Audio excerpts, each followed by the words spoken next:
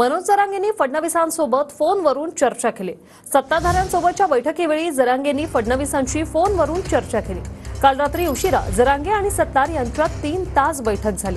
शेतकरी प्रश्न आणि मराठा आरक्षणावर चर्चा झाल्याची सत्तारांची माहिती. दरम्यान मनोज जरांगेंच्या भेटीनंतर अब्दुल सत्तार आज मुख्यमंत्री शिंदे यांची भेट घेणार आहेत.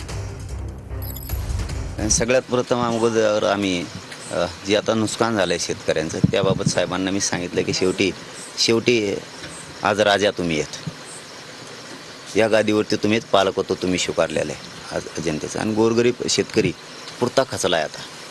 फडणवीस साहेबांना सुद्धा बोलणार आहे आणि शिंदे साहेबांना पण शेतकऱ्यांसाठी बोलणार. आहे. तर फडणवीस साहेबांना सुद्धा मी सांगितलं आहे त्यांचाही फोन आला होता.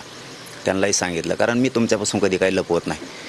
त्यांनाही सांगितलं की सरसकट शेतकऱ्यांना मात्र तुम्हाला नुकसान भरपाई द्यावी लागणार आहे. जे जरंगे पाटील साहेबांशी माझी तीन तास चर्चा झाली त्यामध्ये प्रामुख्याने शेतकरी आणि तो ओबीसीमध्ये मराठा समाजाचा रिझर्वेशन. या दोन याच्यावर मोठ्या प्रमाणावर चर्चा मला वाटतं तीन तास आम्ही चर्चा केली.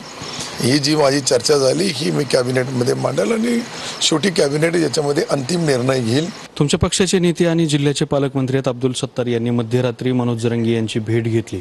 शेतीचे प्रश्न आणि मराठा आरक्षणावर चर्चा केल्याची माहिती त्यांनी दिलेली आहे आणि त्या संदर्भात ते आज मुख्यमंत्र्यांनाही भेटणार आहेत. गैर काय त्याच्यात?